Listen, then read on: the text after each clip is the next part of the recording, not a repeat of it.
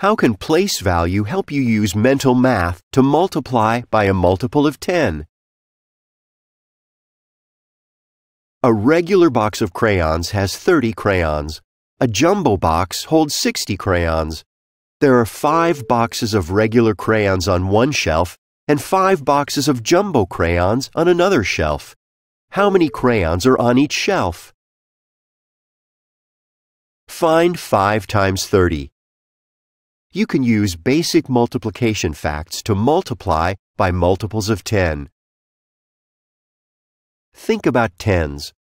Multiply 5 by the number of tens. 5 times 30 equals 5 times 3 tens, or 15 tens, or 150. There are 150 crayons on one shelf. Now find 5 times 60. 5 times 60 equals 5 times 6 tens. What is the product of 5 times 60?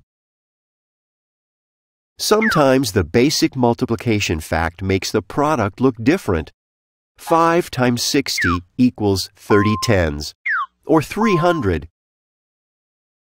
There are 300 crayons on the other shelf.